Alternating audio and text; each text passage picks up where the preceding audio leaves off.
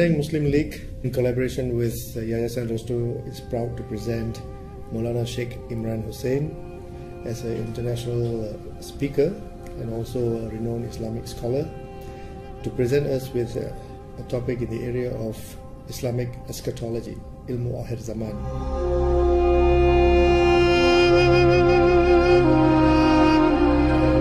Speaker such as Maulana Sheikh Imran Hosein delivering his lecture here with us. The area that is actually covered within our lecture would be the end time, the Quran, and the prophecies of Rasulullah.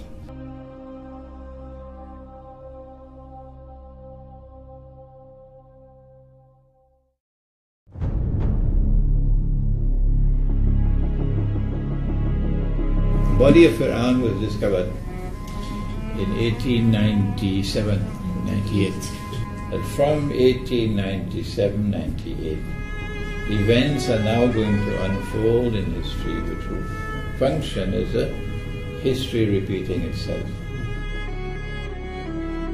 The Zionist movement was created at the same time that the body of Quran was discovered.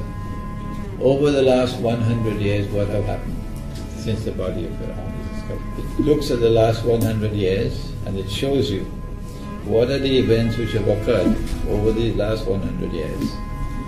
Incremental dismantling of the House of Islam. Incremental dismantling of the House of Islam. From the time the body of Quran was discovered today, we enter into political analysis, we enter into economic analysis, into monetary analysis, into education analysis.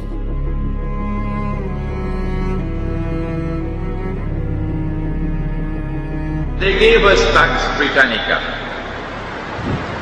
And then they gave us Pax Americana, which we now have. That is their conception of an international order, in which you have one state which rules the world by the hook or by the crook, and no one can challenge them.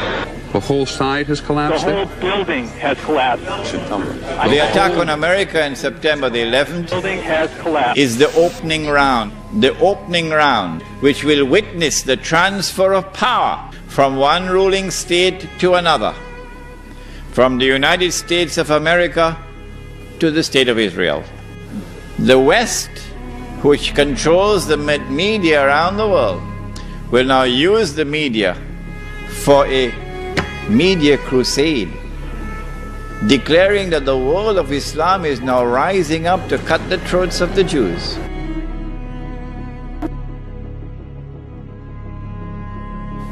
The Jews are now faced with the most perilous moment in their history. When the world is looking to Israel, what are you going to do?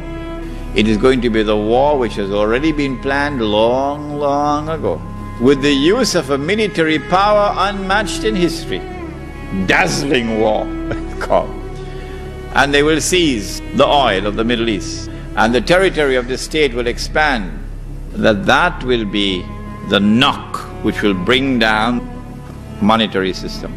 That the International Monetary Fund and the World Bank, all that they'll have to do is to reduce the status of the International Monetary Fund and the World Bank so they become more like small institutions which do not have any global role to play. When the US dollar collapses and the rest of the world of paper money collapses, the United States can no longer function as the ruling state in the world. And power will now shift from Washington to Jerusalem.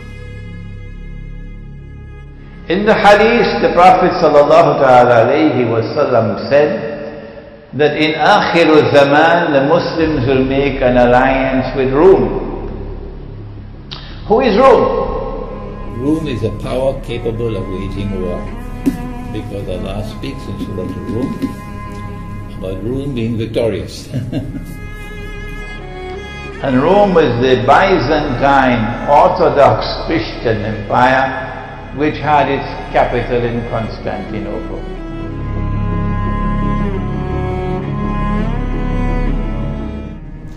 When the Malhama takes place, next event is the conquest of Constantinople, according to the Prophet which eventually will lead to the destruction of the Zionist state of Israel. This is what this lecture does.